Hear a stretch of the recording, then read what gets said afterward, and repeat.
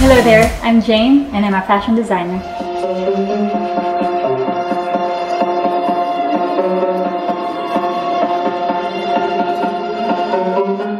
The way I got started is that I got laid off from work and I really really love art so I well while while I was looking for work I decided I was gonna do some arts and crafts I thought I was gonna do painting at first and then I like to do mixed media art so I got into doing more earrings because I do love I love gemstones and I I love earrings because they're easier so I started making earrings and I was like oh why don't I make necklaces and belts and all that um, and I started refashioning my shoes. So as soon as I started doing that, I decided, oh, maybe I should do this on the side. After like I got a new job, and then I decided I was gonna do this on on the side, and then I set up the the website, and then I got a business license, and that's how I got started basically because I like earrings and gemstones. Um, they are created in my study. It's usually I'm just in my room and I'm making them. Um, I usually use a lot of glue and uh, chains. Um, recently, I got really inspired with Game of Thrones, watching Game of Thrones and Daenerys, and I like the way they have their hair. And right now, I have um, it looks like there's it's a mixture of chains and flowers. Um, so there would be flowers, but there would be some chains in there. It's like a mixture of harem and um, like a belly dancer and flower girl.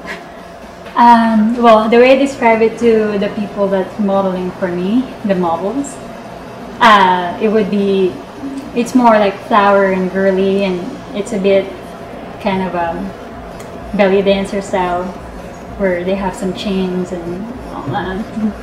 The influences, like I said, it would be Game of Thrones. Um, they have uh, a family there that that's always with kind of like springy the, the look, their look was kind of a springy look. So it would be the Tyrells. And then I kind of want to make a mixture of the Daenerys in there, which is somewhere in there. But it's kind of nerdy, so if you know Game of Thrones, you would kind of see that.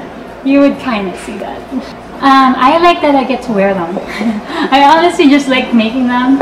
I, I, I wouldn't make anything that I won't wear that's what I would say. Because for me, selling it, I won't. I really won't sell anything I won't wear. So that's what what I really like about them. It's just it's really just me, my style, and how I feel.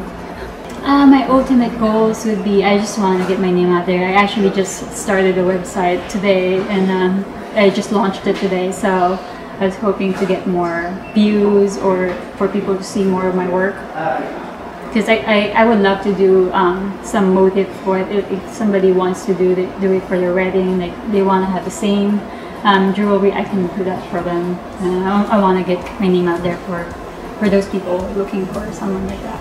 Hello there my name is Jane and I'm a raw artist